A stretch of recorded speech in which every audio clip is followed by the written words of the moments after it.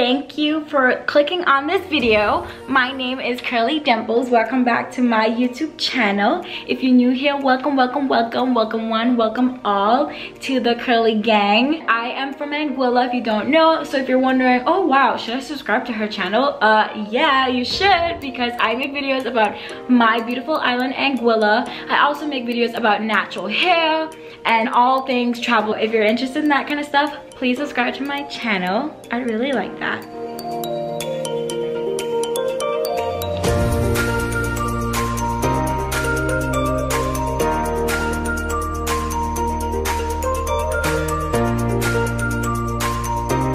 In today's video, I'm gonna be talking about my Cinderella story my Cinderella experience. This relates to the opportunity I had to go to my high school prom. So if you're interested in that kind of stuff and you'd really like to know a little bit more about me and how I was able to have the night of my dreams, then stay tuned.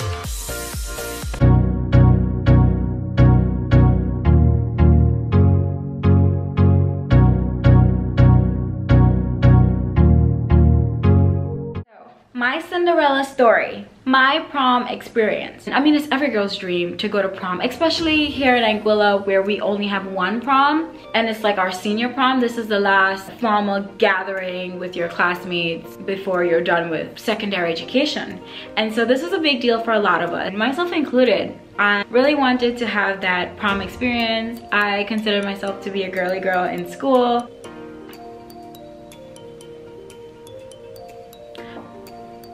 And so I really wanted to have that grand finale of girly, girly stuff. You know, I really want the nice dress, I wanted the heels, I wanted the makeup, I wanted the hair, I wanted the lights, the camera, the action. I wanted all of it. Naturally, I've been talking about it with my mom for forever. I would, you know, say like, oh my God, look at this dress. And back then, looking at beige dresses, I really like the big kang-kang, the big poofy dress. That's what I wanted. I wanted to look literally like a princess like Cinderella, knock knock, there's competition, it's me. I really wanted all of that, but with a very, very small budget because I had a huge Sweet 16 party like it was massive and I had a really nice tailored dress and that was a gift from my mom and stepdad. It was really, really nice. Prom was literally the year after and things just really went bad for us economically. It was really, really a tough time and I remember feeling so sad because I wasn't told a definite no, but the lack of interest and effort made, I could tell that it's not something that we can afford to do. And so, I don't know, I was talking about it a lot with my friends and um, I realized that it won't be a reality for me. You know, yes, Tensi? Yeah? Bella! Bella! Bells! Come, Bells! The dog. The theme for my prom was shine bright like a diamond, a red carpet affair. It was like flashy, right? Just beautiful, flashy, that was the theme. But two weeks before prom, this beautiful girl, she was a cheerleader and she was just a beautiful girl. She was on Purple House, which is like the most popular athletic house in school. And she was very pretty, very, very pretty girl. Like, you know, one of the pretty girls. Like, oh my God, she reached out to me. Her name is Brittany and she was about two, two years older. She contacted me. She said, I asked someone for your number. I just really wanted to know if you were going to prom and I was honest and transparent. I was like, oh, I really would have wanted to, but I can't go. I think she asked me if she can call me. And I was like, okay, think, you know. And then she was like, uh, I have, cause she was into lots of pageantry. She was like, I have about three dresses that would be able to fit you. I was wondering if I can bring them over and you can just have a look. I said, okay. I told my mom, I was like, mom, you know, eh, Brittany just called me and, you know, she would want to, like, let me try on her dresses and stuff. And so we went to this really nice location. We waited for her to come. And she came with a black bag, like a Santa bag. she came with a big black sack. And she had three dresses. She had a, a green poofy one that was about knee high, a purple one that was long sleeve and lacy. And she had this beautiful, blue and purple dress that was like a kang kang dress. It went all the way down. The top was beautiful. It had, it was beautiful. It was beautiful. And so I tried it on in the mirror and I started to cry. And my mom was so emotional and she was sitting, we were all looking at me in the mirrors and they were on the bed in the back. And, and it was so emotional and she had these diamond like stilettos, like silver stiletto shoes. And she told me try them on. And they were a perfect fit. Honestly, I, I can't make it up. It humbled me so much that she she made such a contribution to me and uh, I don't want to cry I don't want to cry but she let me get through the story after trying it on like oh my god this could this is happening. I can i can go to prom.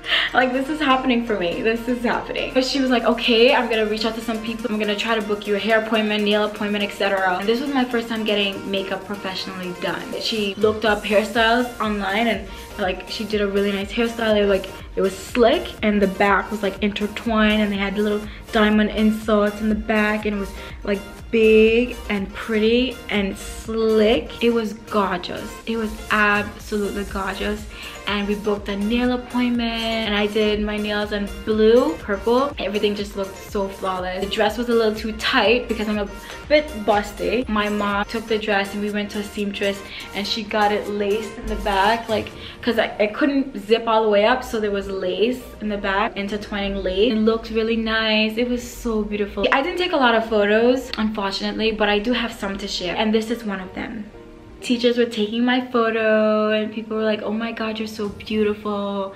Like i heard the word maybe a billion times that night. And she also borrowed her cousin's car. He had gotten a brand new white car. I don't know if it was his birthday or something. She picked me up in this car. She chaperoned me. She drove she literally chaperoned the whole thing from dress makeup nails hair picking me up she took me there. She wore so many hats that day and she drove me to the prom.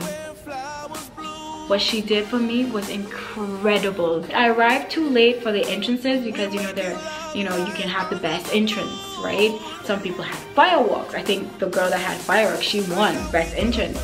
And you know many many things. But i came too late for the judgment of the entrance but I still had a wonderful time. Like there were lots of like civilians, like people in the community standing behind the gates, taking pictures of those that went to prom because prom is a big deal in Anguilla, you know, especially for the parents and well-wishers, it's a big deal.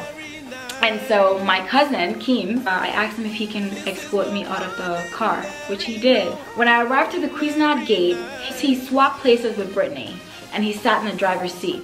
And then he drove me in and then he did a turn in the car and then popped me right in the front of the red carpet and he came and he opened my door and spun me like a princess and I did a little cutsy and then I walked in. It was simple, it was beautiful, and I couldn't ask for more. And I remember as we were driving there, my favorite song was playing from the local bands on Island. This is No Ordinary Night by Exodus HD. My goodness, it was beautiful beautiful the song was playing. This is a no ordinary no ordinary night. And it was playing and it was playing and I was feeling so you know hype this is no ordinary night. This is no ordinary experience. I am going to prom. And then I arrived and there were people taking my photos. There was a red carpet and I wear glasses and I didn't have contacts. And so the whole night I was pretty blind. Walked with my glasses, but I didn't wear them because it was just so pretty without them. People were taking my photograph. I was so excited, you know, because here I was, literally, I wasn't going to prom. And on top of it, nobody had asked me to go to prom.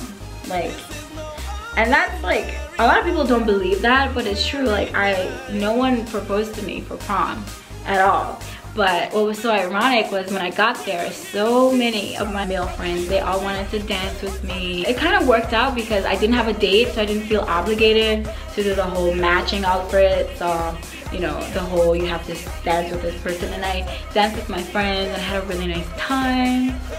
And there were judges there because, you know, there's best dress, best hair. And I didn't win anything, but what I got out of that experience five years later was the best, the best award I could have ever asked for.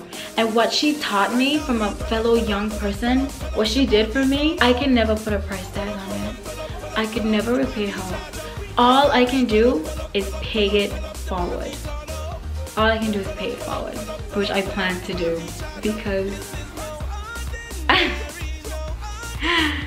Brittany, she really was my fairy godmother. She really took it upon herself to make sure that I had a wonderful night and a memory that I will cherish forever. Please give this video a thumbs up. If you like this video, please comment this video with your prom pictures. If you want, I don't know if you can comment pictures, but please comment your prom experience or your if you had a similar Cinderella story. If someone did something so impactful in your life that you will never forget, please comment down below, share your story so we can have a little community down below where we can just be humble and share optimism and happy thoughts down in the comment sections and just have an environment that is filled with love. As I do hope to foster love on my channel I do hope to encourage I do hope to pay it forward I do hope to you know be a, a light a shining beacon of light you know I really do hope to inspire I was not very comfortable in initially sharing this story because you know, it's a very personal story and it does stem from hardship. And so I decided, why not? It might inspire someone else, so why not? Why not, you know? So I'm really happy I did. I feel really good saying this story. I was in a bad mood earlier, but this story just, you know, made me so happy. so Thank you guys again so much for watching. I'm getting closer and closer to the screen because I'm gonna ask you to subscribe to my channel. So I might make you a little bit uncomfortable, but it's only because I would really like for you to subscribe to my channel. Yeah, is that okay? Thank you. Thank you so much for watching and please subscribe to my channel. thank you. Thank you, thank you, thank you.